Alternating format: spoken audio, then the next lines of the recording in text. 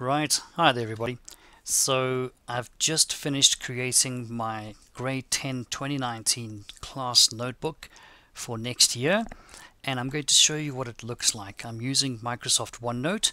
We have Microsoft Teams and OneNote set up at school so I'm going to be working with that um, exclusively from next year. And this is for my new grade 10 class. I don't know how many students I'm getting yet. I think it's uh, between 20 and 30 and I don't know who they are yet. So I've got like a demo student there, but there's nothing there at the moment to look at. Anyway, let me show you what we've got. This is the first page of the notebook. We've got the welcome page over here. We've got some hyperlinks over there. Um, they can look at the textbook. So, well, let me take you through it. There's the textbook. There's the, uh, you know, do you have this textbook, etc. There is a little bit about me, like, hey, how you doing? I'm your new teacher. Welcome to CAT. It's the best, and all that stuff. Okay.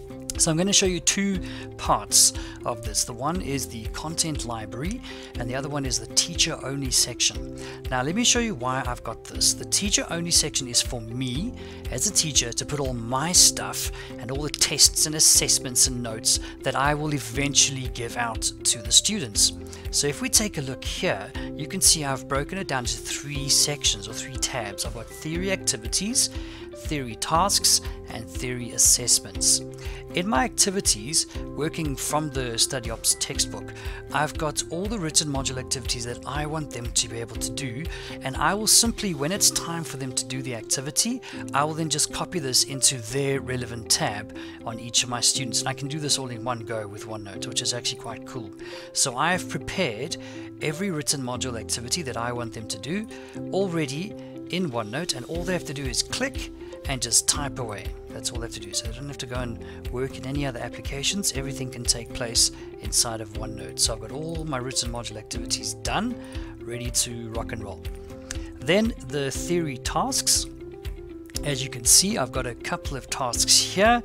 Again, everything is, I, have kept a convention the same. So uh, the module, the, uh, if it's a task, I write the word task, etc. There's more than one task. There's task one, task two.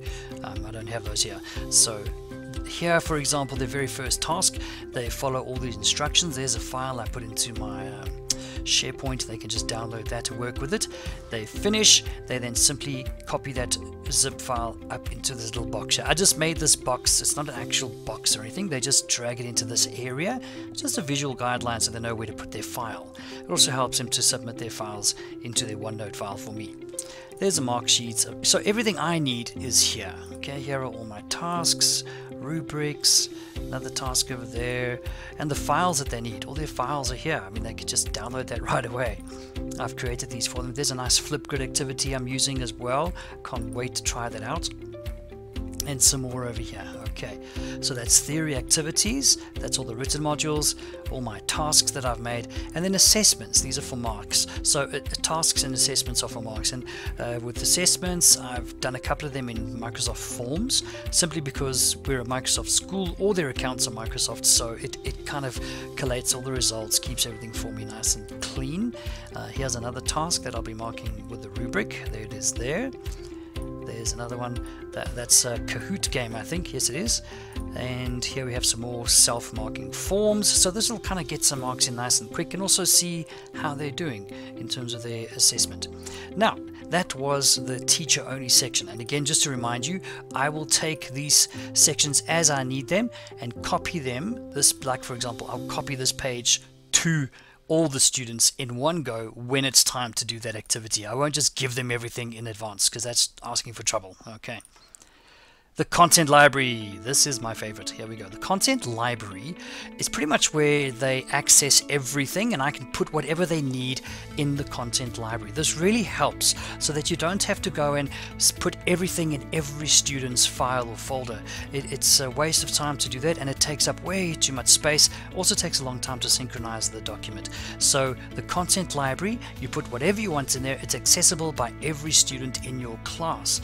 So I've broken it down into to, according to the uh, Study Ops textbook again, I've got section 1. Here is section 1.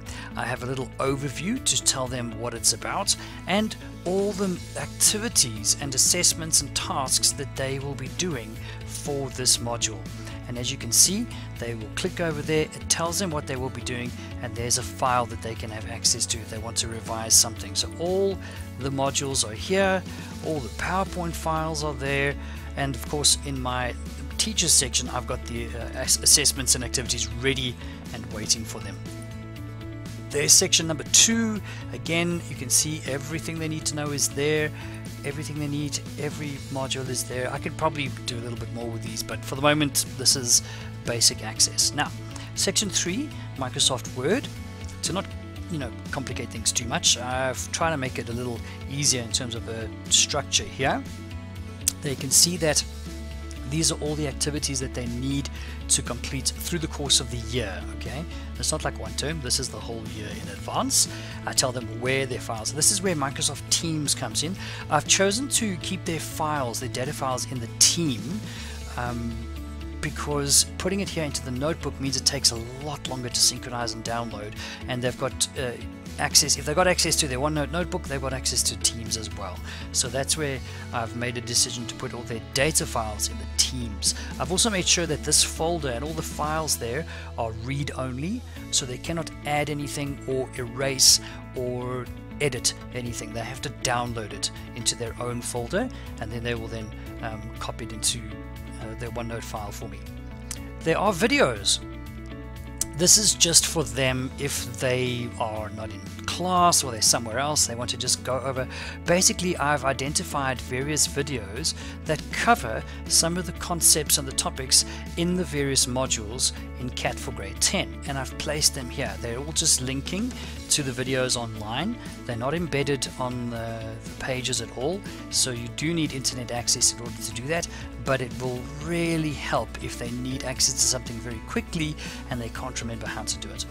And here at the end, I put a little overview just so that they know, okay, for the end of grade 10, uh, for grade, uh, sorry, for uh, Word, they can have a look and see, okay, these are all the skills, these are all the things I need to be able to do. This is straight out of the CAPS document, all right.